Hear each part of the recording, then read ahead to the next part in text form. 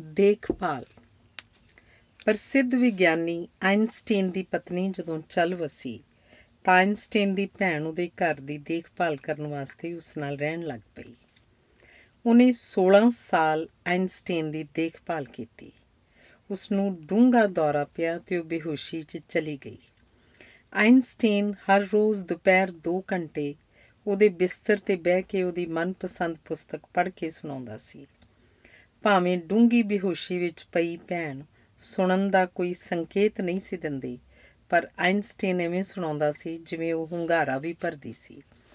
ਆਇਨਸਟੀਨ ਦੇ ਇਸ ਯਤਨ ਨਾਲ ਹੌਲੀ-ਹੌਲੀ ਭੈਣ ਦੀ ਹਾਲਤ ਸੁਧਰ ਗਈ ਤੇ ਉਹ ਠੀਕ ਹੋ ਗਈ ਸੀ। ਧੰਨਵਾਦ। ਕਬਜ਼ਾ। ਮਾਪੇ ਪਿਆਰ ਦੇ ਨਾਂ ਤੇ ਬੱਚਿਆਂ ਤੇ ਕਬਜ਼ਾ ਕਰ ਲੈਂਦੇ ਹਨ ਤੇ ਆਪਸੀ ਰਿਸ਼ਤੇ ਨੂੰ ਕਮਜ਼ੋਰ ਕਰਦੇ ਹਨ। ਬੱਚੇ ਮਾਪਿਆਂ ਦੀ ਜਾਇਦਾਦ ਨਹੀਂ ਹੁੰਦੇ। ਬੱਚੇ ਮਾਪਿਆਂ ਨੂੰ ਮਿਲੇ ਤੋਹਫੇ ਹੁੰਦੇ ਹਨ ਤੇ ਕੀਮਤੀ ਤੋਹਫਿਆਂ ਦਾ ਸਨਮਾਨ ਹੋਣਾ ਚਾਹੀਦਾ ਹੈ। ਸਾਡੇ ਬੱਚੇ ਸਾਡੀ ਕਮਾਨ ਚੋਂ ਨਿਕਲੇ ਤੀਰ ਹੁੰਦੇ ਹਨ। ਉਹ ਸਾਡੇ ਸਭ ਤੋਂ ਵੱਧ ਮਹੱਤਵਪੂਰਨ ਮਹਿਮਾਨ ਹੁੰਦੇ ਹਨ।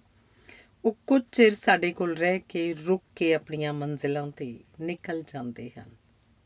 ਧੰਨਵਾਦ।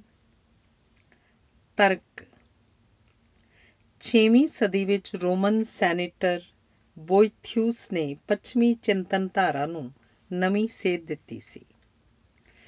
ਥੀਓਡੋਰਿਕ ਨਾਂ ਦੀ ਹਾਕਮ ਨੇ ਉਸ ਨੂੰ ਫਾਂਸੀ ਲਾਉਣ ਦਾ ਹੁਕਮ ਦਿੱਤਾ ਸੀ। ਫਾਂਸੀ ਦੀ ਉਡੀਕ ਕਰਦਿਆਂ ਉਹਨੇ ਦਰਸ਼ਨ ਦੀ ਜਗਤ ਪ੍ਰਸਿੱਧ ਪੁਸਤਕ ਦਰਸ਼ਨ ਦੀਆਂ ਤਸੱਲੀਆਂ ਦਾ ਨਿਰਮਾਣ ਕੀਤਾ, ਜਿਹੜੀ ਲਗਭਗ 8 ਸਦੀਆਂ ਬਾਈਬਲ ਉਪਰੰਤ ਸਭ ਤੋਂ ਵੱਧ ਪੜ੍ਹੀ ਤੇ ਸਤਕਾਰੀ ਜਾਣ ਵਾਲੀ ਪੋਥੀ ਸਾਬਤ ਹੋਈ। ਫਾਂਸੀ ਨੂੰ ਉਡੀਕਦਿਆਂ ਬੋਇਥੀਓਸ ਦੇ ਨੇ ਮਨ ਹੀ ਦੂਜੇ ਪਾਸੇ ਲਾ ਲਿਆ ਸੀ। ਉਹਨੂੰ ਤਸੱਲੀ, ਧਾਰਮਿਕ ਵਿਸ਼ਵਾਸਾਂ ਵਿੱਚੋਂ ਨਹੀਂ, ਤਰਕ ਵਿੱਚੋਂ ਮਿਲੀ। ਧੰਨਵਾਦ। ਪਹਿਲਾ ਕਦਮ। ਇੱਕ ਵਿਦਿਆਰਥੀ ਨੇ ਅਧਿਆਪਕ ਨੂੰ ਪੁੱਛਿਆ, ਆਜ਼ਾਦੀ ਕੀ ਹੁੰਦੀ ਹੈ? ਅਧਿਆਪਕ ਨੇ ਵਿਦਿਆਰਥੀ ਨੂੰ ਖੜਾ ਕਰਕੇ ਕਿਹਾ ਇੱਕ ਪੈਰ ਚੁੱਕ। ਉਹਨੇ ਸੱਜਾ ਚੁੱਕਿਆ। ਕਿਹਾ, ਹੁਣ ਖੱਬਾ ਚੁੱਕ। ਨਹੀਂ ਚੁੱਕ ਸਕਦਾ। ਅਧਿਆਪਕ ਨੇ ਕਿਹਾ, ਸ਼ੁਰੂ ਵਿੱਚ ਤੂੰ ਕੋਈ ਪੈਰ ਚੁੱਕ ਸਕਦਾ ਸੀ। ਪੈਰ ਚੁੱਕਣ ਦੀ ਆਜ਼ਾਦੀ ਸੀ। ਇੱਕ ਪੈਰ ਚੁੱਕ ਲਿਆ, ਆਜ਼ਾਦੀ ਮੁੱਕ ਗਈ, ਸੀਮਤ ਹੋ ਗਈ। ਆਜ਼ਾਦੀ ਵਿੱਚ ਮਰਜ਼ੀ ਚੱਲਦੀ ਹੈ ਪਹਿਲਾ ਪੈਰ ਚੁੱਕਣ ਨਾਲ ਦੂਜੇ ਦੀ ਹੋਣੀ ਨਿਸ਼ਚਿਤ ਹੋ ਗਈ ਹੈ ਚੋਰੀ ਤੋਂ ਪਹਿਲਾਂ ਮਨ ਸ਼ਾਂਤ ਹੁੰਦਾ ਹੈ ਚੋਰੀ ਕਰਨ ਨਾਲ ਚਿੰਤਾ ਵਾਲੀ ਕਿਰਿਆ ਆਰੰਭ ਹੋ ਜਾਂਦੀ ਹੈ। ਜੀਵਨ ਵਿੱਚ ਹਰ ਕਦਮ ਜਾਂ ਕਾਰਜ ਕਿਸੇ ਨਾ ਕਿਸੇ ਪੱਖੋਂ ਪਹਿਲਾ ਕਦਮ ਹੁੰਦਾ ਹੈ, ਜੋ ਅਗਲੇ ਦੀ ਹੋਣੀ ਨਿਸ਼ਚਿਤ ਕਰ ਦਿੰਦਾ ਹੈ। ਧੰਨਵਾਦ। ਸਬਰ। ਇੱਕ ਅਮੀਰ ਇਸਤਰੀ ਨੇ ਪਤੀ ਦੇ ਨਜਾਇਜ਼ ਸਬੰਧਾਂ ਕਾਰਨ ਸ਼ੱਕ ਦੇ ਆਧਾਰ ਤੇ ਸੁਪਾਰੀ ਦੇ ਕੇ ਪਤੀ ਨੂੰ ਮਰਵਾਉਣ ਲਈ 20 ਲੱਖ ਰੁਪਏ ਦਾ ਸੌਦਾ ਕੀਤਾ। 10 ਲੱਖ ਰੁਪਏ ਪੇਸ਼ਗੀ ਦੇ ਦਿੱਤੇ। 10 ਲੱਖ ਕਤਲ ਹੋਣ ਉਪਰੰਤ ਦੇਣ ਦਾ ਵਾਅਦਾ ਕੀਤਾ। ਮਾਰਨ ਵਾਲਿਆਂ ਨੇ ਸੋਚਿਆ 10 ਲੱਖ ਮਿਲ ਗਏ ਹਨ। ਜੇ ਬੰਦਾ ਮਾਰ ਦਿੱਤਾ, ਤਾਂ ਉਹਦੇ ਪ੍ਰਸਿੱਧ ਹੋਣ ਕਰਕੇ ਫੜੇ ਜਾ ਸਕਦੇ ਆ। ਕਈ ਸਾਲ ਮੁਕੱਦਮਾ ਭੁਗਤਾਂਗੇ, ਪਰਿਵਾਰ ਰੁੱਲ ਜਾਣਗੇ, ਸਜ਼ਾ ਵੀ ਹੋ ਸਕਦੀ ਹੈ। ਉਹਨਾਂ ਨੇ 10 ਲੱਖ ਨਾਲ ਹੀ ਸਬਰ ਕਰਨ ਦਾ ਫੈਸਲਾ ਕੀਤਾ, ਕਿਉਂਕਿ ਉਹਨਾਂ ਦੀ ਲੋੜ 10 ਲੱਖ ਨਾਲ ਪੂਰੀ ਹੋਣ ਵਾਲੀ ਸੀ। ਜਦੋਂ ਮਾਰਨ ਵਿੱਚ ਕਈ ਕਾਰਨਾਂ ਕਰਕੇ ਦੇਰ ਹੋਣ ਲੱਗ ਪਈ, ਤਾਂ ਇਸਤਰੀ ਨੂੰ ਵੀ ਸਮਝ ਆ ਗਈ ਕਿ ਉਹਦਾ ਨਾਮ ਮੁਕੱਦਮੇ ਨਾਲ ਜੁੜੇਗਾ। ਬਜ਼ੁਰਗ ਮਾਤਾ-ਪਿਤਾ ਰੁੱਲ ਜਾਣਗੇ, ਧੀਆਂ ਦੇ ਵਿਆਹ ਨਹੀਂ ਹੋਣਗੇ। ਉਹਨੇ ਸੋਚਿਆ 10 ਲੱਖ ਚਲੇ ਗਏ ਹਨ, ਕੋਈ ਗੱਲ ਨਹੀਂ। ਬਹੁਤ ਵੱਡੀ ਮੁਸੀਬਤ ਵਿੱਚ ਫਸਣ ਤੋਂ ਬਚ ਗਈਆਂ। ਜਿਹੜੇ 10 ਲੱਖ ਬਚ ਗਏ ਹਨ, ਉਹਨਾਂ ਦਾ ਲਾਭ ਉਠਾ ਕੇ ਪਿਆ ਘਾਟਾ ਪੂਰਾ ਕਰ ਲਵਾਂਗੇ।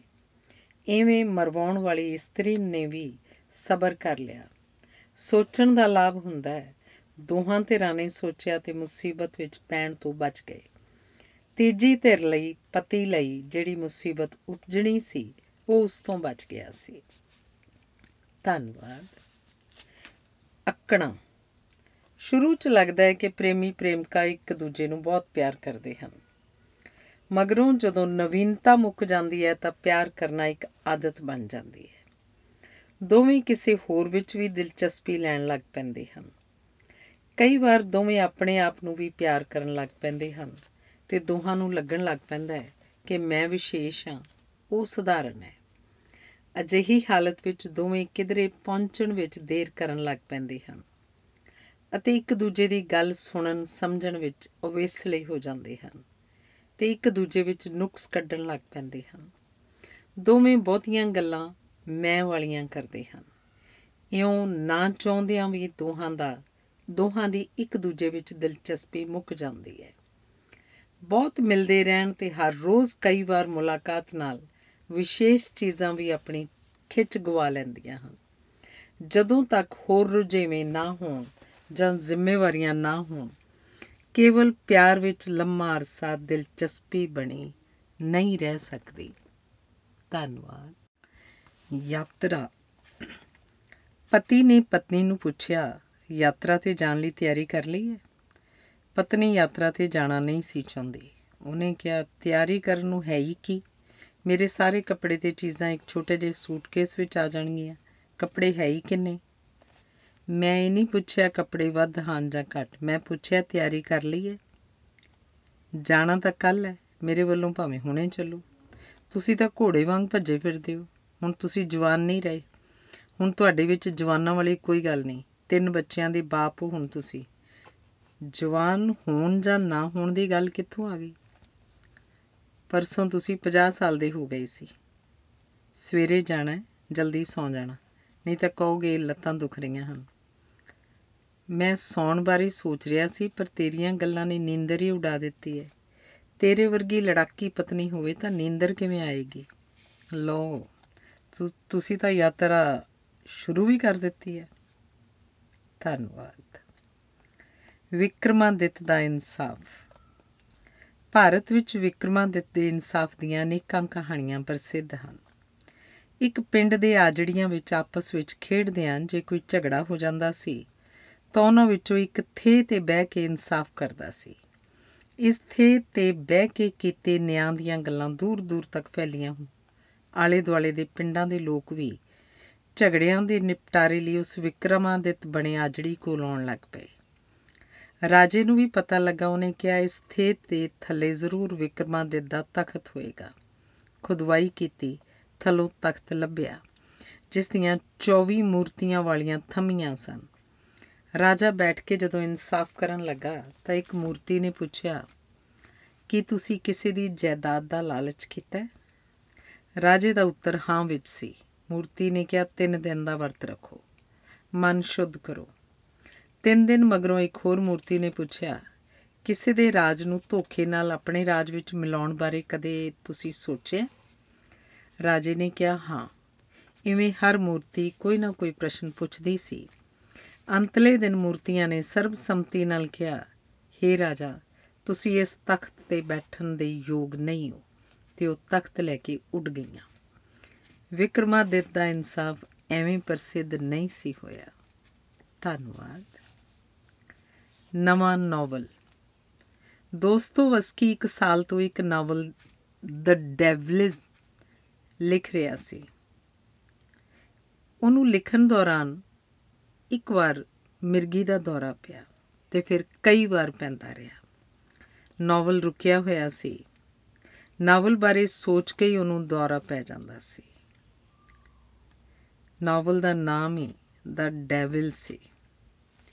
ਇੱਕ ਵਾਰੀ ਜਦੋਂ ਲਗਾਤਾਰ ਦੌਰੇ ਪਏ ਤਾਂ ਉਹ ਨਿਡਾਲ ਹੋ ਗਿਆ।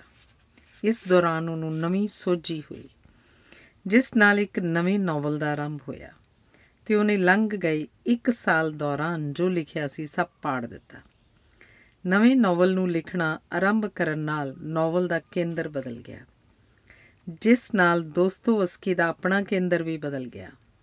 ਉਹਨੂੰ ਮਹਿਸੂਸ ਹੋਇਆ ਕਿ ਉਹਨੂੰ ਦੌਰੇ ਗਲਤ ਨਾਵਲ ਛੋ ਲੈਣ ਨਾਲ ਪੈ ਰਹੇ ਸਨ। ਜਦੋਂ ਨਵਾਂ ਨਾਵਲ ਲਿਖਣਾ ਆਰੰਭ ਕੀਤਾ ਤਾਂ ਸਿਹਤ ਠੀਕ ਹੋ ਗਈ, ਦੌਰੇ ਬੰਦ ਹੋ ਗਏ। ਕੇਵਲ 8 ਮਹੀਨਿਆਂ ਵਿੱਚ ਹੀ ਨਵਾਂ ਨਾਵਲ ਮੁਕੰਮਲ ਸੀ। ਰਾਸ਼ਟਰਪਤੀ। ਅਮਰੀਕਾ ਵਿੱਚ ਮੋٹے ਬੰਦੇ ਨੂੰ ਰਾਸ਼ਟਰਪਤੀ ਨਹੀਂ ਚੁਣਿਆ ਜਾਂਦਾ। ਜਿਹੜਾ ਆਪਣਾ ਪੇਟ ਕਾਬੂ ਨਹੀਂ ਰੱਖ ਸਕਦਾ, ਉਹ ਅਮਰੀਕਾ ਨੂੰ ਕਿਵੇਂ ਕੰਟਰੋਲ ਕਰੇਗਾ? ਉੱਥੇ ਕਿਸੇ ਮਧਰੇ ਬੰਦੇ ਨੂੰ ਵੀ ਰਾਸ਼ਟਰਪਤੀ ਨਹੀਂ ਚੁਣਿਆ ਜਾਂਦਾ। ਕਿਉਂਕਿ ਅਮਰੀਕਾ ਦਾ ਰਾਸ਼ਟਰਪਤੀ ਹੋਰ, ਹੋਰਾਂ ਅੱਗੇ ਨੀਵਾ ਨਹੀਂ ਹੋਣਾ ਚਾਹੀਦਾ। ਉਹ ਝੁਕਣਾ ਨਹੀਂ ਚਾਹੀਦਾ। ਉਸ ਅੱਗੇ ਝੁਕਣੇ ਚਾਹੀਦੇ ਹਨ। ਧੰਨਵਾਦ। ਅਮਲੀ ਸਿੱਖਿਆ। ਭਾਰਤੀ ਸਿੱਖਿਆ ਪ੍ਰਣਾਲੀ ਦਾ ਇੱਕ ਵੱਡਾ ਦੋਸ਼ ਇਹ ਹੈ ਕਿ ਅਮਲੀ ਸਿਖਲਾਈ ਦੀ ਥਾਂ ਇਹ ਸਿਧਾਂਤਕ ਗਿਆਨ ਹੀ ਦਿੰਦੀ ਹੈ, ਜਿਸ ਕਾਰਨ ਹਰ ਕੋਈ ਸਰਕਾਰੀ ਨੌਕਰੀ ਕਰਨਾ ਚਾਹੁੰਦਾ ਹੈ।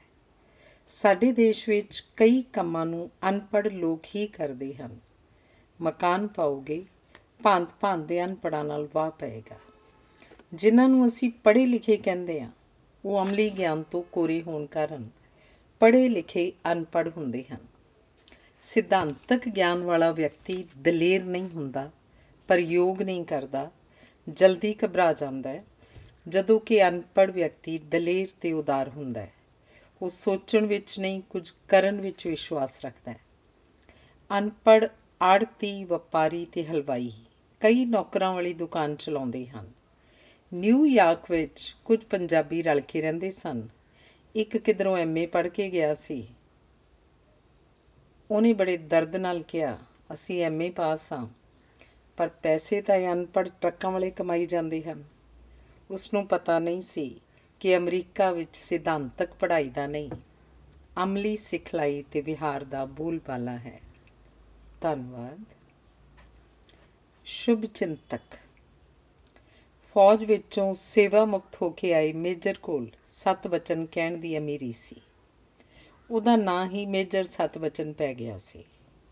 ਉਹਦੇ ਵਿਹਾਰ ਵਿੱਚੋਂ ਸਤ ਬਚਨੀ ਵਾਲੀ ਨਿਮਰਤਾ ਝਲਕਦੀ ਸੀ। ਉਹ ਆਪਣੇ ਘਰ ਦੇ ਸਾਹਮਣੇ ਸੜਕ ਤੋਂ ਪਾਰ ਆਪਣੀ ਕਾਰ ਖੜੀ ਕਰਿਆ ਕਰਦਾ ਸੀ। ਗਵਾਂਡਨ ਨੇ ਕਿਹਾ, ਕਾਰ ਦੇ ਸ਼ੀਸ਼ੇ ਤੋਂ ਧੁੱਪ ਦੀ ਲਿਸ਼ਕੋਰ ਪੈਂਦੀ ਹੈ। ਮੇਜਰ ਸਾਹਿਬ ਨੇ ਕਿਹਾ ਸਤ ਬਚਨ ਤੇ ਕਾਰ ਦਾ ਮੂੰਹ ਦੂਜੇ ਪਾਸੇ ਕਰਕੇ ਖੜੀ ਕਰ ਦਿੱਤਾ। ਗਵਾਂਡਨ ਬੜੀ ਖੁਸ਼ ਸੀ ਕਿਉਂਕਿ ਉਹਦੀ ਗੱਲ ਮੰਨ ਲਈ ਗਈ ਸੀ। ਇੱਕ ਵਾਰੀ ਕਾਰਾਂ ਦੀ ਵਰਕਸ਼ਾਪ ਜਾਂਦਿਆਂ ਉਹਦੀ ਕਾਰ ਤੰਗ ਰਸਤੇ 'ਚ ਖਲੋਤੇ ਸਕੂਟਰ ਨਾਲ ਕਿਸਰ ਗਈ। ਸਕੂਟਰ ਵਾਲੇ ਨੇ ਸ਼ਿਕਾਇਤ ਕੀਤੀ ਕਿ ਤੁਸੀਂ ਮੇਰੇ ਸਕੂਟਰ ਨਾਲ ਕਾਰ ਦੀ ਠੋਕਰ ਮਾਰੀ ਹੈ। ਮੇਜਰ ਸਾਹਿਬ ਨੇ ਕਿਹਾ, ਸਤ ਬਚਨ ਪਹਿਲਾਂ ਮੈਨੂੰ ਮਾਫ ਕਰੋ, ਫਿਰ ਮੇਰੇ ਖਰਚੇ ਤੇ ਹੁਣੇ ਮੁਰੰਮਤ ਕਰਵਾਓ। ਸਕੂਟਰ ਵਾਲੇ ਨੇ ਕਿਹਾ ਜੀ ਕੋਈ ਗੱਲ ਨਹੀਂ, ਧੰਨਵਾਦ। ਇਉਂ ਮੇਜਰ ਸਾਹਿਬ ਹਰ ਰੋਜ਼ ਦੋ ਤਿੰਨ ਸ਼ੁਭ ਚਿੰਤਕ ਉਪਜਾ ਲੈਂਦੇ ਸਨ। ਧੰਨਵਾਦ। ਕਾਰਡ। ਮਾਂ ਮਰ ਗਈ ਸੀ, ਪਿਤਾ ਪਹਿਲਾਂ ਹੀ ਗੁਜ਼ਰ ਚੁੱਕੇ ਸਨ। ਧੀ ਨੇ ਮਾਂ ਦੇ ਭੋਗ ਦੇ ਕਾਰਡ ਥੱਲੇ ਆਪਣਾ ਨਾਂ, ਆਪਣੇ ਨਾਂ ਹੇਠ ਛਪਵਾਇਆ, ਸ਼ਕੁੰਤਲਾ ਦੇਵੀ, ਉਮਰ 27 ਸਾਲ, ਰੰਗ ਗੋਰਾ, ਬੀਏ ਪਾਸ, ਸਰੀਰ ਪਤਲਾ ਕੱਦ 5 ਫੁੱਟ 5 ਇੰਚ ਤਲਾਕਸ਼ੁਦਾ ਬੱਚਾ ਕੋਈ ਨਹੀਂ, ਮਕਾਨ ਆਪਣਾ ਹੈ। ਧੰਨਵਾਦ। ਸਮੱਸਿਆਵਾਂ। ਸਮੱਸਿਆਵਾਂ ਵੀ ਛੋਟੀਆਂ ਤੇ ਵੱਡੀਆਂ ਹੁੰਦੀਆਂ ਹਨ। ਸਮੱਸਿਆਵਾਂ ਦਾ ਵੀ ਬਚਪਨ, ਜਵਾਨੀ ਤੇ ਬੁਢਾਪਾ ਹੁੰਦਾ ਹੈ। ਕਈ ਸਮੱਸਿਆਵਾਂ ਵਿਧਵਾ ਹੋ ਜਾਂਦੀਆਂ ਹਨ, ਕਈ ਮੁਕਲਾਵੇ ਨਹੀਂ ਜਾਂਦੀਆਂ, ਜਿਨ੍ਹਾਂ ਸਮੱਸਿਆਵਾਂ ਦਾ ਨਾਂ ਪਤਾ ਨਹੀਂ ਬਦਲਦਾ। ਇਹਨਾਂ ਵਿੱਚੋਂ ਕਈਆਂ ਦੇ ਰੰਗ ਫਿੱਕੇ ਪੈ ਜਾਂਦੇ ਹਨ। ਕਈ ਸਮੱਸਿਆਵਾਂ ਨੂੰ ਯੋਗ ਸਮਾਂ ਨਾ ਦਿੱਤੇ ਜਾਣ ਕਾਰਨ ਸੁਲਝਾਇਆ ਨਹੀਂ ਜਾ ਸਕਦਾ। ਕਈ ਸਮੱਸਿਆਵਾਂ ਕਾਲੀ ਨਾਲ ਸੁਲਝਾਏ ਜਾਣ ਕਾਰਨ ਸੁਲਝਾਏ ਜਾਣ ਦੇ ਬਾਵਜੂਦ ਨਹੀਂ ਸੁਲਝਦੀਆਂ। ਕਈ ਸਮੱਸਿਆਵਾਂ ਦੀਆਂ ਬਰਸੀਆਂ ਮਨਾਈਆਂ ਜਾਂਦੀਆਂ ਹਨ। ਪਹਿਲਾਂ ਵੱਡੀ ਸਮੱਸਿਆ ਸੁਲਝਾਓ, ਮਨ ਬਣਾਓ, ਸੁਲਝਾਣੀ ਹੈ, ਸੁਲਝਾਓ, ਸੁਲਝੇਗੀ। ਵੱਡੀ ਸਮੱਸਿਆ ਸੁਲਝਾ ਲਓਗੇ, ਛੋਟੀਆਂ ਸੁਲਝਣ ਲੱਗ ਪੈਣਗੀਆਂ। ਧੰਨਵਾਦ। ਅਰਜਨ, ਹੀ ਅਰਜਨ। ਇੱਕ ਸਮਾਗਮ ਵਿੱਚ ਇੱਕ ਵਿਅਕਤੀ ਨੇ ਗਾਂਧੀ ਜੀ ਨੂੰ ਕਿਹਾ, ਬਾਪੂ, ਤੁਸੀਂ ਗੀਤਾ ਦੀ ਗੱਲ ਕਰਦੇ ਹੋ। ਅਰਜਨ ਇੱਕ ਦੋ ਵਾਕਾਂ ਦਾ ਪ੍ਰਸ਼ਨ ਕਰਦਾ ਸੀ ਤੇ ਕ੍ਰਿਸ਼ਨ ਬੜੇ ਵਿਸਥਾਰ ਨਾਲ ਉੱਤਰ ਦਿੰਦੇ ਸਨ। ਅਸੀਂ ਕਈ ਸਵਾਲ ਪੁੱਛਦੇ ਹਾਂ, ਪਰ ਤੁਸੀਂ ਇੱਕ ਦੋ ਵਾਕਾਂ 'ਚ ਜਵਾਬ ਦੇ ਕੇ ਬਸ ਕਰ ਜਾਂਦੇ ਹੋ। ਗਾਂਧੀ ਨੇ, ਗਾਂਧੀ ਜੀ ਨੇ ਕਿਹਾ, ਹਾਂ, ਪਰ ਕ੍ਰਿਸ਼ਨ ਕੋਲ ਪ੍ਰਸ਼ਨ ਕਰਨ ਵਾਲਾ ਇੱਕ ਹੀ ਅਰਜਨ ਸੀ। ਇੱਥੇ ਤਾਂ ਅਰਜਨ ਹੀ ਅਰਜਨ ਹਨ। ਧੰਨਵਾਦ। ਰਿਆਇਤਾਂ। ਰਿਆਇਤਾਂ ਦੋਗੇ, ਹੋਰ ਰਿਆਇਤਾਂ ਮੰਗੀਆਂ ਜਾਣਗੀਆਂ। ਇੱਕ ਫੈਕਟਰੀ ਵਿੱਚ ਮਾਲਕ ਨੇ ਕਾਮਿਆਂ ਨੂੰ ਸੰਬੋਧਨ ਕਰਦਿਆਂ ਕਿਹਾ ਹੁਣ ਤੁਸੀਂ 8 ਦੀ ਥਾਂ ਕੇਵਲ 6 ਘੰਟੇ ਕੰਮ ਕਰੋਗੇ। 9 ਵਜੇ ਦੀ ਥਾਂ 10 ਵਜੇ ਆਇਆ ਕਰੋਗੇ। 5 ਵਜੇ ਦੀ ਥਾਂ 4 ਵਜੇ ਜਾ ਸਕੋਗੇ। ਅਗਲੇ ਮਹੀਨੇ ਤੋਂ ਤੁਸੀਂ ਬੁੱਧਵਾਰ ਹੀ ਕੰਮ ਕਰਿਆ ਕਰੋਗੇ। ਇੱਕ ਨੇ ਪੁੱਛਿਆ, ਹਰ ਬੁੱਧਵਾਰ? ਧੰਨਵਾਦ। ਬੇਅਕਲ। ਮੂਰਖ ਨੂੰ ਮੌਕਾ ਦਿਓ। ਮੂਰਖ ਹੋਣ ਕਰਕੇ ਉਹਦਾ ਲਾਭ ਨਹੀਂ ਉਠਾ ਸਕੇਗਾ। ਇੱਕ ਮੂਰਖ ਦੀ ਮੂਰਖਤਾ ਕਾਰਨ ਇੱਕ ਪ੍ਰੇਤ ਆਜ਼ਾਦ ਹੋ ਗਿਆ। ਪ੍ਰੇਤ ਨੇ ਤਿੰਨ ਵਰਦਾਨ ਦਿੱਤੇ ਕਿ ਕੁਝ ਮੰਗੋ। ਮੂਰਖ ਨੂੰ ਸੁਝਿਆ ਹੀ ਨਾ ਕਿ ਕੀ ਮੰਗੇ। ਕਿਹਾ, ਜਦੋਂ ਲੋੜ ਪਈ ਮੰਗ ਲਾਂਗਾ। ਘਰ ਗਿਆ। ਦੇਰ ਨਾਲ ਆਉਣ ਕਰਕੇ ਪਤਨੀ ਲੜ ਪਈ। ਪ੍ਰੇਤ ਤੋਂ ਮੰਗ ਕੀਤੀ, ਇਹ ਤੰਗ ਕਰਦੀ ਹੈ, ਇਹਨੂੰ ਮਾਰ ਦੇ। ਹੁਣ ਮੂਰਖ ਬੱਚਿਆਂ ਦਾ ਕੀ ਕਰੇ? ਪ੍ਰੇਤ ਨੂੰ ਕਿਹਾ, ਜਿਉਂਦੀ ਕਰ ਦੇ। ਜਿਉਂਦੀ ਹੋ ਗਈ।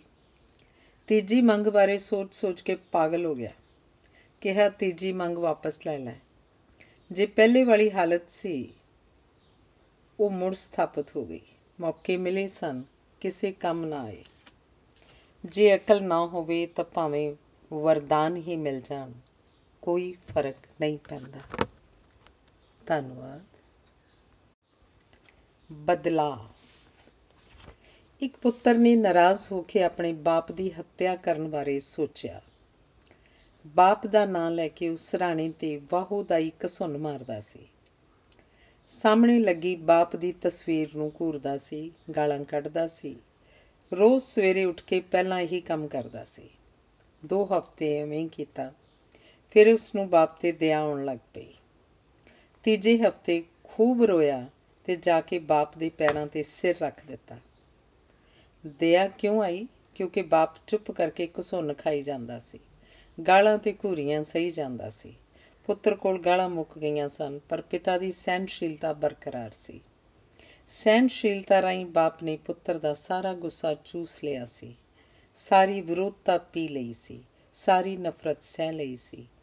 ਜਿਹੜਾ ਪਹਿਲਾਂ ਕੇਵਲ ਬਾਪ ਸੀ, ਉਹ ਸਤਕਾਰਯੋਗ ਪਿਤਾ ਜੀ ਬਣ ਗਿਆ ਸੀ।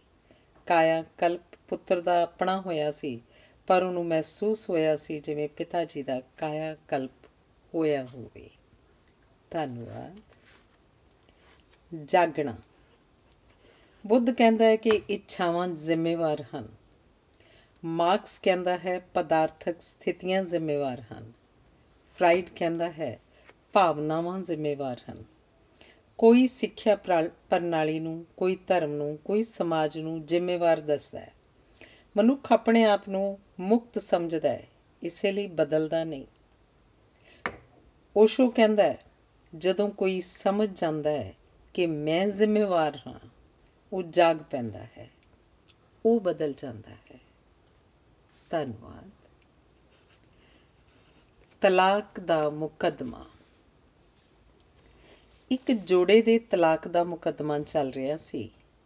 ਕਿਸੇ ਸਾਂਝੇ ਜਾਣੂ ਕੋਲ ਜਾ ਕੇ ਉਹ ਆਪਣੀ ਆਪਣੀ ਵਿਥਿਆ ਸੁਣਾ ਕੇ ਸਿੱਧ ਕਰ ਜਾਂਦੇ ਸਨ ਕਿ ਮੈਂ ਬਿਲਕੁਲ ਠੀਕ ਹਾਂ।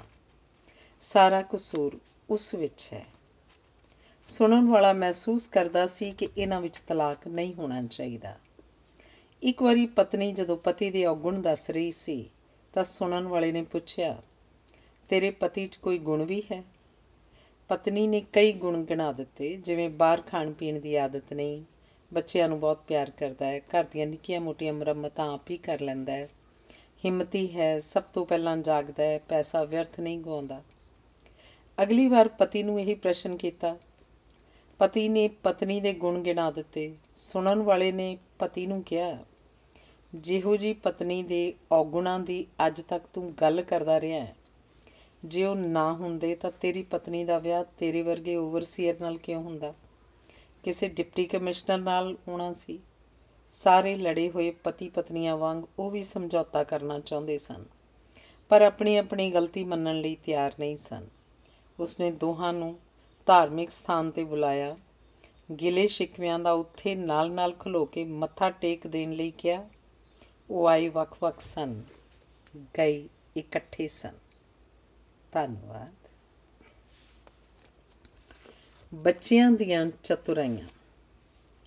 ਇੱਕ ਉਮਰ ਹੁੰਦੀ ਹੈ ਜਦੋਂ ਬੱਚੇ ਮਾਪਿਆਂ ਦੀ ਅਕਲ ਪਰਖਦੇ ਹਨ। ਮਾਪੇ ਬੱਚਿਆਂ ਨੂੰ ਉਹਨਾਂ ਦੇ ਜਨਮ ਤੋਂ ਪਹਿਲਾਂ ਤੋਂ ਜਾਣਦੇ ਹੁੰਦੇ ਹਨ। ਸੋ ਉਹ ਬੱਚਿਆਂ ਵੱਲੋਂ ਕੀਤੀ ਜਾ ਰਹੀ ਪਰਖ ਨੂੰ ਮੰਨਦੇ ਹਨ। ਸਕੂਲ ਤੋਂ ਪੁੱਤਰ ਪੜ੍ਹ ਕੇ ਆਇਆ। ਪਲੇਟ ਵਿੱਚ ਦੋ ਅਮਰੂਦ ਰੱਖ ਕੇ ਪਿਤਾ ਨੂੰ ਪੁੱਛਿਆ, ਕਿੰਨੇ ਅਮਰੂਦ ਹਨ? ਪਿਤਾ ਨੇ ਕਿਹਾ, ਦੋ। ਪੁੱਤਰ ਨੇ ਕਿਹਾ, ਤਿੰਨ ਹਨ। ਇੱਕ ਤੇ ਦੋ, ਕੁੱਲ ਤਿੰਨ। ਪਿਤਾ ਨੇ ਕਿਹਾ, ਇੱਕ ਅਮਰੂਦ ਮੈਂ ਖਾ ਲੈਂਦਾ, ਇੱਕ ਤੇਰੀ ਮਾਂ ਖਾ ਲਏਗੀ, ਤੀਜਾ ਤੂੰ ਖਾ ਲਈ। ਮਾਂ ਨੇ ਜੋਤ ਜਗਾਈ। ਧੀ ਨੇ ਚਤੁਰਾਈ ਨਾਲ ਪੁੱਛਿਆ, ਇਹ ਜੋਤ ਕਿੱਥੋਂ ਆਈ? ਮਾਂ ਨੂੰ ਜਵਾਬ ਨਾ ਸੁਝਿਆ, ਪਰ ਉਹਨੇ ਝਟ ਬੁਝਾ ਦਿੱਤੀ ਤੇ ਧੀ ਨੂੰ ਮੋੜਵਾ ਮੋੜਵਾ ਪ੍ਰਸ਼ਨ ਪੁੱਛਿਆ, ਤੂੰ ਦੱਸ, ਇਹ ਕਿੱਥੇ ਚਲੀ ਗਈ? ਬੱਚੇ ਮੁੱਢਲੀਆਂ ਚਤੁਰਾਈਆਂ ਆਪਣੇ ਮਾਪਿਆਂ ਨਾਲ ਹੀ ਕਰਦੇ ਹਨ। ਧੰਨਵਾਦ। ਦਿਲਚਸਪ ਕਹਾਣੀਆਂ। ਸਧਾਰਨ ਲੋਕਾਂ ਨੂੰ ਹੋਰਾਂ ਬਾਰੇ ਦਿਲਚਸਪ ਕਹਾਣੀਆਂ ਘੜਨ ਦੀ ਆਦਤ ਹੁੰਦੀ ਹੈ। ਕਈ ਕਹਿੰਦੇ ਹਨ ਕਿ ਵਿਸ਼ਵ ਵਪਾਰ ਕੇਂਦਰ ਦੀਆਂ ਦੋ ਉੱਚੀਆਂ ਇਮਾਰਤਾਂ ਉੱਤੇ ਹਮਲਾ ਅਮਰੀਕਾ ਨੇ ਆਪ ਹੀ ਕਰਵਾਇਆ ਸੀ। ਇਹ ਵੀ ਕਿਹਾ ਜਾਂਦਾ ਹੈ ਕਿ ਡਾਇਨਾ ਨੂੰ ਇੰਗਲੈਂਡ ਦੇ ਸ਼ਾਹੀ ਘਰਾਣੇ ਨੇ ਹੀ ਮਰਵਾਇਆ ਸੀ। ਕਿਹਾ ਜਾਂਦਾ ਹੈ ਕਿ ਨਹਿਰੂ ਦੇ ਕੱਪੜੇ ਪ੍ਰੈਸ ਕਰਨ ਵਾਸਤੇ ਇੰਗਲੈਂਡ ਜਾਂਦੇ ਸਨ। ਪਰ ਕਿਸੇ ਨੇ ਨਹੀਂ ਵਿਚਾਰਿਆ ਕਿ ਭਾਰਤ ਕੋਲ ਕੱਪੜੇ ਇੰਗਲੈਂਡ ਲੈ ਜਾਣ ਲਈ ਜਹਾਜ਼ ਤਾਂ ਸਨ, ਪਰ ਕੱਪੜੇ ਪ੍ਰੈਸ ਕਰਨ ਵਾਲੀ ਲੋਹੇ ਦੀ ਇਸਤਰੀ ਨਹੀਂ ਸੀ। ਪਟਿਆਲੇ ਦਾ ਮਹਾਰਾਜਾ ਭੁਪਿੰਦਰ ਸਿੰਘ ਸੁੰਦਰ ਇਸਤਰੀਆਂ ਕਲਾ ਕਿਰਤਾਂ ਗਹਿਣਿਆਂ, ਕਰੋਕਰੀ, ਖੇਡਾਂ, ਘੋੜਿਆਂ ਤੇ ਕਾਰਾਂ ਦਾ ਸ਼ੌਕੀਨ ਸੀ। ਉਸ ਬਾਰੇ ਭਾਂਤ-ਭਾਂਤ ਦੀਆਂ ਕਹਾਣੀਆਂ ਪ੍ਰਚਲਿਤ ਸਨ। ਕਿਹਾ ਜਾਂਦਾ ਹੈ ਕਿ ਮਹਾਰਾਜਾ ਭੁਪਿੰਦਰ ਸਿੰਘ ਵਾਇਸਰਾਈ ਦੀ ਧੀ ਨੂੰ ਸ਼ਿਮਲੇ ਵਿੱਚ 1892 ਵਿੱਚ ਭਜਾ ਕੇ ਲੈ ਗਿਆ ਸੀ। ਜਿਸ ਕਾਰਨ ਮਹਾਰਾਜੇ ਦੇ ਸ਼ਿਮਲੇ ਵਿੱਚ ਦਾਖਲੇ ਤੇ ਰੋਕ ਲਾ ਦਿੱਤੀ ਗਈ ਸੀ ਤੇ ਮਹਾਰਾਜੇ ਨੇ ਗਰਮੀਆਂ ਗੁਜ਼ਾਰਨ ਲਈ ਚੈਲ ਵਸਾ ਲਿਆ ਸੀ। ਪਰ ਉਸ ਸਮੇਂ ਵਾਇਸਰਾਈ ਦੀ ਧੀ ਦੀ ਉਮਰ ਕੇਵਲ 1 ਸਾਲ ਸੀ। ਕਿਹਾ ਜਾਂਦਾ ਹੈ ਕਿ ਕਲਕੱਤੇ ਦੇ ਕਾਰਾਂ ਦੇ ਸ਼ੋਰੂਮ ਵਿੱਚ ਮਹਾਰਾਜੇ ਨੇ ਰੋਲਰਸ ਰਾਈਸ ਦੀ ਕੀਮਤ ਪੁੱਛੀ ਤੇ ਮਾਲਕ ਨੇ ਮਹਾਰਾਜੇ ਨੂੰ ਵਿਅੰਗ ਨਾਲ ਕਿਹਾ ਸੀ, ਕੀਮਤ ਪੁੱਛਦੇ ਹੋ ਤਾਂ ਖਰੀਦ ਨਹੀਂ ਸਕੋਗੇ। ਤੇ ਮਹਾਰਾਜੇ ਨੇ ਸਾਰਾ ਸ਼ੋਰੂਮ ਹੀ ਖਰੀਦ ਲਿਆ ਸੀ ਤੇ ਰੋਲਰਸ ਰਾਈਸ ਨੂੰ ਤੂੜੀ ਢੰਗ, ਤੂੜੀ ਢੋਣ ਲਈ ਵਰਤਿਆ ਜਾਂਦਾ ਸੀ। ਆਮ ਲੋਕਾਂ ਨੂੰ ਮਹੱਤਵਪੂਰਨ ਵਿਅਕਤੀਆਂ ਬਾਰੇ ਅਜਿਹੀਆਂ ਕਹਾਣੀਆਂ ਨਾਲ ਆਪਣੇ ਗਿਆਨਵਾਨ ਹੋਣ ਦੀ ਵਿਸ਼ੇਸ਼ ਤਸੱਲੀ ਮਿਲਦੀ ਹੈ। ਧੰਨਵਾਦ। ਕਿੱਤਿਆਂ ਦਾ ਆਧਾਰ। ਆਦਤਾਂ ਦਾ ਵੱਖ-ਵੱਖ ਹੋਣਾ ਸੁਭਾਵਿਕ ਹੁੰਦਾ ਹੈ। ਦੋ ਜਮਾਤੀ ਸਨ। ਇੱਕ ਜਮਾਤਨਾ ਵਿੱਚ ਬੜਾ ਹਰਮਨ ਪਿਆਰਾ ਸੀ, ਮੌਜਾਂ ਕਰਦਾ ਸੀ। ਦੂਜੇ ਨੇ ਰਜਿਸਟਰ ਲਾਇਆ ਹੋਇਆ ਸੀ, ਕੌਣ ਕਿਸ ਨਾਲ ਆਇਆ, ਕੌਣ ਕਿਸ ਨਾਲ ਗਈ, ਕਦੋਂ ਆਈ, ਕਦੋਂ ਗਈ। ਉਹਨੇ ਕੀ ਪਹਿਨਿਆ ਹੋਇਆ ਸੀ, ਉਹਨੇ ਹੁਲੀਆ ਕੀ ਬਣਾਇਆ ਹੋਇਆ ਸੀ।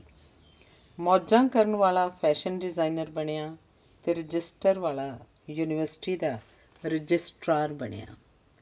ਧੰਨਵਾਦ। ਵਿਕਾਸ।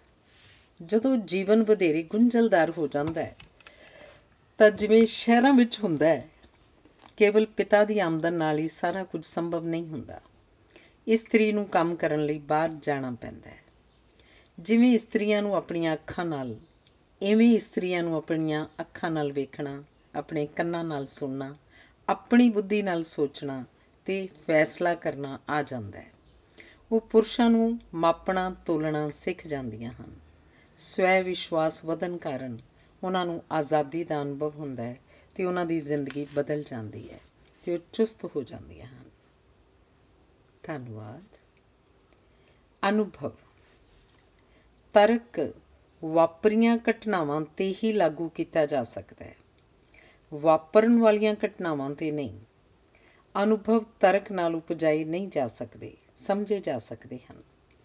ਜਦੋਂ ਮਨੁੱਖ ਯਾਤਰਾ ਤੇ ਨਿਕਲਦਾ ਹੈ ਤੇ ਯਾਤਰਾ ਦੌਰਾਨ ਉਸ ਨਾਲ ਜੋ ਵਾਪਰਦਾ ਹੈ, ਉਸ ਦੀ ਉਹ ਪਹਿਲਾਂ ਕਲਪਨਾ ਨਹੀਂ ਕਰ ਸਕਦਾ। ਵਾਪਰਨ ਉਪਰੰਤ ਉਹ ਵਿਆਖਿਆ ਕਰ ਸਕਦਾ ਹੈ। ਵਿਆਹ ਕਰਨ ਵੇਲੇ ਇਸਤਰੀ ਪੁਰਸ਼ ਨਹੀਂ ਜਾਣਦੇ ਕਿ ਉਹਨਾਂ ਨੂੰ ਕਿਹੜੇ-ਕਿਹੜੇ ਅਨੁਭਵ ਹੋਣਗੇ, ਪਰ ਮਗਰੋਂ ਉਹ ਪੂਰੀ ਜੀਵਨ ਕਹਾਣੀ ਲਿਖ ਸਕਦੇ ਹਨ। ਖੇਤਰ ਕੋਈ ਹੋਵੇ। ਹੋਣ ਵਾਲੇ ਅਨੁਭਵਾਂ ਨੂੰ ਪਹਿਲਾਂ ਨਾ ਜਾਣਦੇ ਹੋਣਾ ਹੀ ਸਭ ਤੋਂ ਵੱਧ ਦਿਲਚਸਪ ਤੇ ਵਿਚਿੱਤਰ ਭਾਗ ਹੁੰਦਾ ਹੈ। ਧੰਨਵਾਦ। ਇਕੱਤਰ ਕਰਨ ਦਾ ਲਾਲਚ। ਸਮਾਜ ਦਾ ਆਰੰਭ ਕੁਦਰਤ ਦੀ ਉਪਜ ਜਾਂ ਵਸੀਲਿਆਂ ਨੂੰ ਵੰਡਣ ਨਾਲ ਹੋਇਆ। ਵੰਡਣ ਦਾ ਕਾਰਜ ਜਿਨ੍ਹਾਂ ਨੂੰ ਸੰਭਾਲਿਆ ਗਿਆ, ਉਹ ਆਪਣੇ ਢੰਗ ਨਾਲ ਵੰਡਣ ਕਰਕੇ ਸ਼ਕਤੀਸ਼ਾਲੀ ਹੋ ਗਏ। ਹੌਲੀ-ਹੌਲੀ ਸਭ ਕੁਝ ਵੰਡਣ ਦੀ ਬਜਾਏ ਉਹਨਾਂ ਵਿੱਚ ਸਭ ਕੁਝ ਇਕੱਤਰ ਕਰਨ ਦਾ ਲਾਲਚ ਜਾਗ ਪਿਆ। ਜਿਸ ਕਾਰਨ ਜੋ ਵੰਡਿਆ ਜਾਣਾ ਸੀ ਅਤੇ ਵੰਡਿਆ ਜਾਣਾ ਚਾਹੀਦਾ ਸੀ ਤੇ ਵੰਡਣ ਵਾਲਾ ਸੀ, ਉਹ ਵੰਡਿਆ ਨਾ ਗਿਆ। ਹੁਣ ਵੀ ਇਵੇਂ ਹੀ ਹੋ ਰਿਹਾ ਹੈ। ਨਾ ਥਾਂ ਬਦਲ ਗਈ ਹਨ ਧੰਨਵਾਦ। ਤਲਵਾਰ। ਡੈਮੋਕਲੀਜ਼ ਰਾਜਾ ਸੀ, ਆਨੰਦ ਪ੍ਰਸੰਨ ਸੀ, ਕੋਈ ਚਿੰਤਾ ਨਹੀਂ ਸੀ। ਇੱਕ ਦਿਨ ਉਹਨੇ ਉੱਪਰ ਵੇਖਿਆ ਤੇ ਉਹਨੂੰ ਇੱਕ ਕੱਚੇ ਧਾਗੇ ਨਾਲ ਭਾਰੀ ਤੇ ਤੇਜ਼ ਧਾਰ ਵਾਲੀ ਤਲਵਾਰ ਦਿਸ ਪਈ। ਆਨੰਦ ਲੋਪ ਹੋ ਗਿਆ ਪ੍ਰਸੰਨਤਾ ਮੁੱਕ ਗਈ। ਚਿੰਤਾ ਨੇ ਘੇਰ ਲਿਆ। ਕਦੇ ਨਾ ਕਦੇ ਹਰ ਕਿਸੇ ਨੂੰ ਅਜਿਹੀ ਤਲਵਾਰ ਦਿਸ ਪੈਂਦੀ ਹੈ। ਧੰਨਵਾਦ। ਸਖਤੀ। ਇੱਕ ਮੱਠ ਵਿੱਚ ਲੰਮਾ ਅਰਸਾ ਰਹਿਣ ਉਪਰੰਤ ਇੱਕ ਭਿਕਸ਼ੂ ਨੇ ਗੁਰੂ ਨੂੰ ਕਿਹਾ, ਗਿਆਨ ਨਹੀਂ ਮਿਲ ਰਿਹਾ। ਮੱਠ ਦੇ ਗੁਰੂ ਨੇ ਕਿਹਾ 3 ਸਾਲ ਧਿਆਨ ਲਾਓ। ਭਿਕਸ਼ੂ ਨੇ 3 ਸਾਲ ਮਗਰੋਂ ਕਿਹਾ, ਕੁਝ ਨਹੀਂ ਮਿਲਿਆ। 3 ਮਹੀਨੇ ਇਹ ਮੰਤਰ ਪੜੋ ਮੰਤਰ ਪੜੇ ਕੁਝ ਨਹੀਂ ਹੋਇਆ। 3 ਦਿਨ ਸ਼ਾਂਤ ਰਹੋ। ਜੇ ਕੁਝ ਨਾ ਹੋਵੇ, ਤਾਂ ਚੌਥੇ ਦਿਨ ਆਤਮਘਾਤ ਕਰ ਲੈਣਾ। ਤੀਜੇ ਦਿਨ ਭਿਕਸ਼ੂ ਉੱਚਾ ਉੱਚਾ ਬੋਲ ਕੇ ਸਭ ਨੂੰ ਸੁਣਾ ਰਿਹਾ ਸੀ, ਗਿਆਨ ਮਿਲ ਗਿਆ, ਗਿਆਨ ਮਿਲ ਗਿਆ। ਧੰਨਵਾਦ। ਵਕਤ ਤੇ ਢੰਗ। ਜੇਕਰ ਦੂਜਾ ਬੰਦਾ ਤੁਹਾਡੀ ਗੱਲ ਨਹੀਂ ਸੁਣਦਾ, ਤਾਂ ਨੁਕਸ ਵਕਤ ਅਤੇ ਢੰਗ ਵਿੱਚ ਹੋ ਸਕਦਾ ਹੈ। ਜੇ ਕਿਸੇ ਦੇ ਘਰ ਸਵੇਰੇ ਜਾਓਗੇ, ਤਾਂ ਤੁਹਾਡੀ ਗੱਲ ਵੱਲ ਬਹੁਤਾ ਧਿਆਨ ਨਹੀਂ ਦਿੱਤਾ ਜਾਏਗਾ, ਕਿਉਂਕਿ ਸਮੇਂ ਦੀ ਤੁਹਾਡੀ ਚੋਣ ਗਲਤ ਹੈ। ਜੇ ਕਿਸੇ ਰੁੱਝੇ ਹੋਏ ਬੰਦੇ ਕੋਲ ਕਿਸੇ ਹੋਰ ਦੀਆਂ ਸ਼ਿਕਾਇਤਾਂ ਲਾਉਣ ਜਾਓਗੇ, ਤਾਂ ਤੁਹਾਡੀ ਗੱਲ ਸੁਣੀ ਨਹੀਂ ਜਾਏਗੀ, ਕਿਉਂਕਿ ਤੁਹਾਡੀ ਗੱਲਬਾਤ ਦਾ ਢੰਗ ਸਹੀ ਨਹੀਂ। ਜੇ ਸੇਵਾ ਮੁਕਤੀ ਉਪਰੰਤ ਆਪਣੇ ਅਧੀਨ ਰਹੇ ਅਧਿਕਾਰੀ ਕੋਲ ਕਾਰਜੀ ਸਮੇਂ ਦੌਰਾਨ ਗੱਪਾਂ ਮਾਰਨ ਜਾਓਗੇ, ਤਾਂ ਉਹ ਦਰਾਜ ਖੋਲ ਕੇ ਕੁਝ ਲੱਭਣ ਲੱਗ ਪਏਗਾ। ਜਿਹੜਾ ਇਸ ਗੱਲ ਦਾ ਸੰਕੇਤ ਹੋਏਗਾ ਕਿ ਉਹਦੀ ਤੁਹਾਡੀ ਗੱਲ ਵਿੱਚ ਕੋਈ ਦਿਲਚਸਪੀ ਨਹੀਂ। ਸ਼ਿਕਾਇਤ ਨਾ ਕਰੋ ਕਿ ਦੂਜੇ ਬੰਦੇ ਨੇ ਤੁਹਾਡੀ ਗੱਲ ਨਹੀਂ ਸੁਣੀ। ਫੈਸਲਾ ਕਰੋ, ਉਹ ਤੁਹਾਡੀ ਗੱਲ ਕਿਉਂ ਸੁਣੇ? ਕੀ ਤੁਹਾਡੀ ਗੱਲ ਸੁਣੇ ਜਾਣ ਯੋਗ ਹੈ? ਧੰਨਵਾਦ।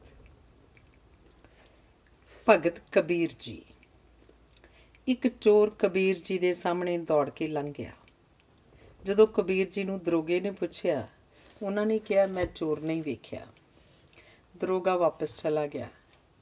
ਲੁਕੇ ਹੋਏ ਚੋਰ ਨੇ ਕਬੀਰ ਜੀ ਨੂੰ ਪੁੱਛਿਆ, ਤੁਸੀਂ ਮੇਰੇ ਵਾਸਤੇ ਝੂਠ ਬੋਲਣ ਦਾ ਪਾਪ ਕਿਉਂ ਕੀਤਾ? ਕਬੀਰ ਜੀ ਨੇ ਕਿਹਾ, ਕਈ ਵਾਰੀ ਵੱਡਾ ਪੁੰਨ ਕਰਨ ਵਾਸਤੇ ਪਾਪ ਵੀ ਕਰਨਾ ਪੈਂਦਾ ਹੈ। ਤੈਨੂੰ ਸੁਧਾਰਨ ਵਾਸਤੇ ਅਤੇ ਇੱਕ ਹੋਰ ਮੌਕਾ ਦੇਣ ਵਾਸਤੇ ਮੈਂ ਝੂਠ ਬੋਲਿਆ ਸੀ। ਤੂੰ ਸੁਧਰ ਜਾ। ਝੂਠ ਬੋਲਣ ਦਾ ਪਾਪ ਮੈਂ ਝੱਲ ਹੀ ਲਵਾਂਗਾ। ਧੰਨਵਾਦ। ਪੁੰਨ ਦਾ ਕੰਮ। ਪੁਰਾਣੇ ਸਮਿਆਂ ਵਿੱਚ ਇੱਕ ਪਰੰਪਰਾ ਸੀ ਕਿ ਲੋਕ ਸਜ਼ਾ ਭੁਗਤ ਰਹੇ ਕੈਦੀਆਂ ਦੀ ਕੀਮਤ ਚੁਕਾ ਕੇ ਉਹਨਾਂ ਨੂੰ ਖਰੀਦ ਲੈਂਦੇ ਸਨ ਤੇ ਕਈ ਵਾਰੀ ਖਰੀਦ ਕੇ ਉਹਨਾਂ ਨੂੰ ਆਜ਼ਾਦ ਕਰ ਦਿੰਦੇ ਸਨ। ਦੂਜੇ ਵਿਸ਼ਵ ਯੁੱਧ ਵਿੱਚ ਇੱਕ ਧਨਵਾਨ ਵਿਅਕਤੀ ਹਿਟਲਰ ਦੇ ਯਹੂਦੀ ਕੈਦੀਆਂ ਨੂੰ ਖਰੀਦ ਕੇ ਉਹਨਾਂ ਦੀ ਕੀਮਤ ਚੁਕਾ ਕੇ ਉਹਨਾਂ ਨੂੰ ਮੌਤ ਦੇ ਘਾਟ ਉਤਾਰੇ ਜਾਣ ਤੋਂ ਪਹਿਲਾਂ ਖਰੀਦ ਕੇ ਆਜ਼ਾਦ ਕਰ ਦਿੰਦਾ ਸੀ। ਇਸ ਵਿਅਕਤੀ ਦਾ ਨਾਂ ਸ਼ਿੰਡਲਰ ਸੀ। ਉਸਨੇ ਸੈਂਕੜੇ ਯਹੂਦੀਆਂ ਨੂੰ ਖਰੀਦ ਕੇ ਆਜ਼ਾਦ ਕੀਤਾ। ਜਿਨ੍ਹਾਂ ਨੂੰ ਉਸਨੇ ਖਰੀਦ ਕੇ ਆਜ਼ਾਦ ਕੀਤਾ, ਉਹਨਾਂ ਦੇ ਪੁੱਤਰਾਂ ਪੋਤਰਿਆਂ ਨੇ ਸ਼ਿੰਡਲਰ ਨੂੰ ਦੇਵਤੇ ਵਜੋਂ ਪੂਜਿਆ। ਮੁਸਲਿਮ ਦੇਸ਼ਾਂ ਵਿੱਚ ਵੀ ਕੈਦੀਆਂ ਨੂੰ ਖਰੀਦਣ ਦੀ ਪਰੰਪਰਾ ਹੈ। ਇੱਕ ਮੁਸਲਿਮ ਦੇਸ਼ ਵਿੱਚ 17 ਪੰਜਾਬੀ, ਇੱਕ ਕਤਲ ਦੇ ਮੁਕਦਮੇ ਵਿੱਚ ਫਾਂਸੀ ਲਾਏ ਜਾਣੇ ਸਨ। ਉਹਨਾਂ ਨੂੰ ਦੁਬਈ ਵਿੱਚ ਵਸਦੇ ਇੱਕ ਪੰਜਾਬੀ ਵਪਾਰੀ ਨੇ 3 ਕਰੋੜ ਰੁਪਏ ਨਾਲੋਂ ਵਧੇਰੇ ਅਦਾ ਕਰਕੇ ਖਰੀਦ ਕੇ ਆਜ਼ਾਦ ਕੀਤਾ ਸੀ। ਉਹ ਬਰਾਏ ਨਾਂ ਦਾ ਇਹ ਵਿਅਕਤੀ ਪੰਜਾਬ ਵਿੱਚ ਖੂਬ ਸਤਕਾਰਿਆ ਜਾਂਦਾ ਹੈ। ਧੰਨਵਾਦ। ਅਫਪਰਵਾਨਗੀ ਇੱਕ ਰੈਫਰੀ ਫੁੱਟਬਾਲ ਦੇ ਫਾਈਨਲ ਮੈਚ ਵਿੱਚ ਇੱਕ ਟੀਮ ਦੇ ਵਿਰੁੱਧ ਪੱਖਪਾਤ ਕਰ ਰਿਹਾ ਸੀ। ਉਸਨੇ ਦੂਜੀ ਟੀਮ ਨੂੰ ਪੈਨਲਟੀ ਕਾਰਨਰ ਦੇ ਦਿੱਤਾ। ਰੈਫਰੀ ਦੇ ਇਸ ਫੈਸਲੇ ਵਿਰੁੱਧ ਰੋਸ ਵੀ ਹੋਇਆ ਤੇ ਖੇਡ ਦੇ ਮੈਦਾਨ ਵਿੱਚ ਸ਼ੋਰ ਵੀ ਪਿਆ। ਜਿਸ ਟੀਮ ਦੇ ਪੱਖ ਵਿੱਚ ਪੈਨਲਟੀ ਕਾਰਨਰ ਦਿੱਤਾ ਗਿਆ ਸੀ, ਉਸ ਟੀਮ ਦਾ ਕਪਤਾਨ ਆਪਣੇ ਚੰਗੇ ਸਲੀਕੇ ਤੇ ਨੈਤਿਕ ਚਰਿੱਤਰ ਕਾਰਨ ਪ੍ਰਸਿੱਧ ਸੀ। ਉਹ ਗੋਲ ਕਰਕੇ ਜਿੱਤ ਵੀ ਸਕਦਾ ਸੀ, ਪਰ ਉਹਨੇ ਬਾਲ ਨੂੰ ਗੋਲ ਵੱਲ ਸੇਧਣ ਦੀ ਬਜਾਏ ਲੰਮੀ ਕਿੱਕ ਨਾਲ ਮੈਦਾਨ ਦੇ ਅੱਧ ਵੱਲ, ਅਸਮਾਨ ਵੱਲ ਸੇਧ ਦਿੱਤੀ। ਇਸ ਕਿੱਕ ਨਾਲ ਉਸਨੇ ਅਣਕਮਾਏ ਮੌਕੇ ਨੂੰ ਅਪਰਵਾਨ ਕਰ ਦਿੱਤਾ ਸੀ। ਉਸ ਪ੍ਰਤੀ ਪ੍ਰਸ਼ੰਸਾ ਦੀਆਂ ਤਾੜੀਆਂ ਨਾਲ ਸਾਰਾ ਸਟੇਡੀਅਮ ਗੂੰਜ ਉੱਠਿਆ ਸੀ। ਧੰਨਵਾਦ। ਵਿਸ਼ਵ ਯੁੱਧ। ਪਹਿਲਾ ਵਿਸ਼ਵ ਯੁੱਧ ਵੀ ਜਰਮਨੀ ਨੇ ਰੰਭਿਆ ਸੀ ਤੇ ਮੁੱਕਿਆ ਵੀ ਜਰਮਨੀ ਦੇ ਸਮਰਪਣ ਨਾਲ ਸੀ। ਇਸ ਵਿੱਚ ਜਿੱਤ ਹਾਰ ਨਹੀਂ ਸੀ ਹੋਈ। ਜਰਮਨੀ ਵਿੱਚ ਹਿੰਮਤ ਹੀ ਮੁੱਕ ਗਈ ਸੀ। ਜਰਮਨੀ ਤੇ ਉਹਦੇ ਸਾਥੀ ਦੇਸ਼ਾਂ ਉੱਤੇ ਪਾਬੰਦੀਆਂ ਤੇ ਜੁਰਮਾਨੇ ਲਾਏ ਗਏ ਸਨ। ਕਈ ਅਜੇ ਵੀ ਜੁਰਮਾਨੇ ਭਰ ਰਹੇ ਹਨ। ਜਰਮਨੀ ਦੇ ਇਸ ਅਪਮਾਨ ਵਿੱਚੋਂ ਹਿਟਲਰ ਉਪਜਿਆ ਸੀ ਜਿਸ ਨੇ ਦੂਜਾ ਵਿਸ਼ਵ ਯੁੱਧ ਆਰੰਭਿਆ, ਲੜਿਆ ਤੇ ਹਾਰਿਆ ਸੀ। ਧੰਨਵਾਦ। ਯੂਰਪਾ। ਪੁਰਾਤਨ ਸਮੇਂ ਵਿੱਚ ਅਜੋਕੇ ਲੈਬਨਾਨ ਦਾ ਨਾਂ ਟਾਇਰ ਸੀ। ਇੱਥੋਂ ਦੇ ਰਾਜੇ ਐਗਨੌਰ ਦੀ ਧੀ ਯੂਰਪਾ ਨੂੰ ਕਿਸੇ ਨੇ ਅਗਵਾ ਕਰ ਲਿਆ। ਰਾਜੇ ਦੇ ਪੰਜ ਪੁੱਤਰ ਸਨ, ਜਿਨ੍ਹਾਂ ਨੇ ਰਾਜੇ ਨੂੰ ਆਪਣੀ ਭੈਣ ਲੱਭਣ ਦਾ ਹੁਕਮ ਦਿੱਤਾ। ਇਹ ਪੰਜੇ ਵੱਖ-ਵੱਖ ਦਿਸ਼ਾਵਾਂ 'ਚ ਗਏ। ਯੂਰਪਾ ਨਾਂ ਦੀ ਭੈਣ ਲੱਭਦਿਆਂ ਲੱਭਦਿਆਂ ਇਹਨਾਂ ਨੇ ਭੂਗੋਲ ਲੱਭ ਲਿਆ। ਇਹਨਾਂ ਨੇ ਨਵੇਂ ਲੱਭੇ ਇਲਾਕਿਆਂ ਨੂੰ ਭੈਣ ਯੂਰਪਾ ਦੇ ਨਾਂ ਤੇ ਯੂਰਪ ਕਹਿਣਾ ਆਰੰਭ ਕੀਤਾ ਤੇ ਮਨੌਤ ਬਣ ਗਈ। ਕਿ ਯੂਰਪੀਨਾਂ ਨੂੰ ਘਰਾਂ ਤੋਂ ਦੂਰ, ਹੋਰ ਦੂਰ ਜਾਣ ਦੀ ਆਦਤ ਹੈ। ਦੂਰ ਦੂਰ ਜਾਣ ਦੀ ਇਸ ਬਿਰਤੀ ਵਿੱਚੋਂ ਯੂਰਪੀਨਾਂ ਨੇ ਕਈ ਦੇਸ਼ਾਂ ਨੂੰ ਲੱਭ ਲਿਆ ਤੇ ਰਾਜ ਕਰਨ ਲੱਗ ਪਏ। ਧੰਨਵਾਦ। ਵਿਦਿਆਰਥੀ, ਸੁਕਰਾਤ ਦੇ ਜ਼ਮਾਨੇ ਵਿੱਚ ਯੂਨਾਨ ਦੀਆਂ ਜੇਲ੍ਹਾਂ ਖੁੱਲੀਆਂ ਹੁੰਦੀਆਂ ਸਨ। ਜਿਸ ਨੂੰ ਸਜ਼ਾ ਮਿਲੀ ਹੁੰਦੀ ਸੀ, ਉਹ ਜੇਲ੍ਹ ਵਿੱਚ ਹੀ ਰਹਿੰਦਾ ਸੀ। ਪਰ ਉਸ ਨੂੰ ਮਿਲਣ ਵਾਲੇ ਉਸ ਕੋਲ ਦਿਨ ਦੌਰਾਨ ਆ ਸਕਦੇ ਸਨ। ਜਿਸ ਦਿਨ ਸ਼ਾਮ ਨੂੰ ਸੁਕਰਾਤ ਨੇ ਜ਼ਹਿਰ ਦਾ ਪਿਆਲਾ ਪੀਣਾ ਸੀ, ਉਸ ਵੇਲੇ ਕੋਠੜੀ ਵਿੱਚ ਮਿੱਤਰਾਂ ਨਾਲ ਗੱਲਬਾਤ ਕਰਦਿਆਂ ਕਿਸੇ ਦੇ ਬੰਸਰੀ ਵਜਾਉਣ ਦੀ ਆਵਾਜ਼ ਸੁਣਾਈ ਦਿੱਤੀ। ਸੁਕਰਾਤ ਨੇ ਕਿਹਾ, ਬੰਸਰੀ ਵਾਲੇ ਨੂੰ ਲੈ ਆਓ, ਮੈਂ ਬੰਸਰੀ ਸਿੱਖਣੀ ਹੈ। ਪਰ ਮਿੱਤਰਾਂ ਨੇ ਕਿਹਾ, ਤੁਸੀਂ ਤਾਂ ਕੁਝ ਘੰਟਿਆਂ 'ਚ ਮਰ ਜਾਣਾ ਹਾਂ। ਪਰ ਮੈਂ ਇਸ ਭਾਵ ਨਾਲ ਮਰਨਾ ਚਾਹੁੰਦਾ ਕਿ ਮੈਂ ਮਰਨ ਵਾਲੇ ਦਿਨ ਵੀ ਵਿਦਿਆਰਥੀ ਸਾਂ ਤੇ ਮੈਂ ਬੰਸਰੀ ਵਜਾਉਣੀ ਸਿੱਖ ਰਿਹਾ ਸਾਂ। ਧੰਨਵਾਦ। ਉਤਸ਼ਾਹ। ਸਵੇਰੇ ਜਾਗਣਾ, ਉੱਠਣਾ ਇੱਕ ਅਜਿਹਾ ਵਰਦਾਨ ਹੈ ਜੋ ਕੇਵਲ ਤੁਸੀਂ ਹੀ ਆਪਣੇ ਆਪ ਨੂੰ ਦੇ ਸਕਦੇ ਹੋ। ਸਵੇਰੇ ਉੱਠਣ ਦੀ ਆਦਤ ਤੁਹਾਨੂੰ ਜੀਵਨ ਭਰ ਅੱਗੇ ਰੱਖੇਗੀ। ਇਸ ਆਦਤ ਨਾਲ ਤੁਹਾਡਾ ਜੀਵਨ ਬਦਲ ਜਾਏਗਾ। ਸੁਸਤੀ ਆਲਸ ਜਾਂਦਾ ਰਹੇਗਾ। ਸਵੇਰੇ ਜਾਗਣ ਵਾਲੇ ਉਤਸ਼ਾਹੀ, ਚੜ੍ਹਦੀ ਕਲਾ ਤੇ ਆਸ਼ਾਵਾਦੀ ਭਾਵਨਾ ਵਾਲੇ ਹੁੰਦੇ ਹਨ। ਇਹ ਆਪਣੀਆਂ ਹੀ ਨਹੀਂ, ਹੋਰਾਂ ਦੀਆਂ ਸਮੱਸਿਆਵਾਂ ਵੀ ਹੱਲ ਕਰਦੇ ਹਨ। ਸਵੇਰ ਦੇ ਪਹਿਲੇ ਘੰਟੇ ਬੜੇ ਅਰਥਪੂਰਨ ਹੁੰਦੇ ਹਨ। ਇਹ ਹਿੰਮਤ ਵਾਲਿਆਂ ਨੂੰ ਹੀ ਮਿਲਦੇ ਹਨ। ਸਵੇਰੇ ਕਾਲ ਨਹੀਂ ਹੁੰਦੀ, ਸਹਿਜ ਤੇ ਧੀਰਜ ਹੁੰਦਾ ਹੈ। ਸਵੇਰੇ ਆਕਸੀਜਨ ਵਧੇਰੇ ਹੋਣ ਕਰਕੇ ਜੀਵਨ ਦਾ ਉਤਸ਼ਾਹ ਹੁੰਦਾ ਹੈ। ਸਾਰਾ ਦਿਨ ਤੁਹਾਡੇ ਨਿਯੰਤਰਣ ਵਿੱਚ ਰਹਿੰਦਾ ਹੈ। ਤੁਸੀਂ ਸਮੇਂ ਦੇ ਮਾਲਕ ਹੁੰਦੇ ਅਕਸਰ ਮਹਾਪੁਰਸ਼ ਹੀ ਸਵੇਰੇ ਉੱਠਦੇ ਹਨ। ਜਿਹੜੇ ਸਵੇਰੇ ਉੱਠਦੇ ਹਨ, ਉਹਨਾਂ ਵਿੱਚ ਮਹਾਪੁਰਸ਼ਾਂ ਵਾਲੇ ਗੁਣ ਹੁੰਦੇ ਹਨ। ਇਹ ਅਮੀਰ ਭਾਵੇਂ ਨਾ ਹੋਣ, ਪਰ ਅਕਸਰ ਖੁਸ਼ਹਾਲ ਹੁੰਦੇ ਹਨ। ਇਹ ਪਹੁੰਚਣ ਅਤੇ ਮਦਦ ਕਰਨ ਵਿੱਚ ਦੇਰ ਨਹੀਂ ਕਰਦੇ। ਇਹਨਾਂ ਦੀ ਹਾਜ਼ਰੀ ਨਾਲ ਹੀ ਹਿੰਮਤ ਜਾਗ ਪੈਂਦੀ ਹੈ। ਸਵੇਰੇ ਉੱਠੋ। ਸਵੇਰੇ ਉੱਠਣ ਵਿੱਚ ਸਫਲ ਹੋਣ ਦਾ ਯਤਨ ਕਰੋ। ਸਵੇਰੇ ਉੱਠਣ ਵਾਲੇ ਤੰਦਰੁਸਤ ਨਹੀਂ ਹੁੰਦੇ, ਸਵੇਰੇ ਉੱਠਦੇ ਹੀ ਤੰਦਰੁਸਤ ਹਨ। ਸਵੇਰੇ ਜਾਗਣ ਵਾਲੇ ਸਫਲ ਨਹੀਂ ਹੁੰਦੇ, ਸਵੇਰੇ ਜਾਗਦੇ ਹੀ ਉਹ ਹਨ ਜਿਨ੍ਹਾਂ ਨੇ ਸਫਲ ਹੋਣਾ ਹੁੰਦਾ ਹੈ। ਧੰਨਵਾਦ।